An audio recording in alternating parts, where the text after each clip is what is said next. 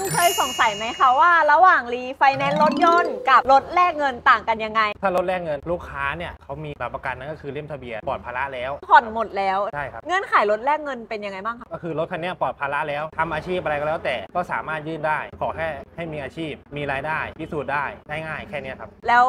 รีไฟแนนซ์ลูกค้าเนี่ยยังมีภาระยังยังผ่อนอยู่ ต้องดูเงื่อนไขของแต่ละที่ แต่ก็สามารถทำได้เหมือนกันต้องผ่อนไปนานเท่าไหร่ถึงจะรีไฟแนนซ์ได้1ปีขึ้นไปครับ รถแลกเงินคือผ่อนหมดแล้ว ทาง TDB เขาโฆษณานะครับว่ารถยังมีขับอ่าคือเรายังมีรถขับใช่แค่เอาเล่มมาแค่เอาปลเล่อดมมาภาระ ข้อดีเนี่ยก็คือว่าลูกค้าจะได้เงินก้อน สมมุติว่ารถของลูกค้าเนี่ยมีมูลค่าราคากลางของธนาคาร 5 0 0แสนอย่างเงี้ยถามว่าลูกค้าจะเอาเต็ม 5 0 0แสนเลยได้ไหมได้ ก็คือลูกค้าได้เงินไปใช้ไปหมุนธุรกิจ แต่ยังมีรถขับอยู่ ถูกต้องครับ ข้อดีของการรีไฟแนนซ์นะคะ สมมุติว่ารถคันนั้นเนี่ยเขาผ่อนมาครึ่งหนึ่งแล้วเขาต้องการใช้เงินเนี่ยในส่วนที่เราผ่อนไปแล้วเนี่ยสามารถที่จะนำเงินตรงนี้ออกมาใช้กลับไปผ่อนใหม่ การรีไฟแนนซ์เหมือนการนำเงินที่เราผ่อนไปแล้ว เอาออกมาหมุนเวียนถูกต้ในอง ธุรกิจถูกต้ได้ ถูกต้อง ถ้าลูกค้าต้องการที่จะรีไฟแนนซ์แต่ไม่ได้ต้องการเอาเงินออกมาใช้ แต่ต้องการให้ค่างวดถูกลง สามารถทำได้ไหมคะ ทำได้ครับ สมมุติเราผ่อนอยู่ 1 0,000 เราอยากจะผ่อนถูกลงถ้าขยายปีเพิ่มเข้าไปแล้วก็จะทำให้ค่างวดเราเนี่ยถูกลง ผมแนะนำเป็นในนี่ดีกว่า ในทาง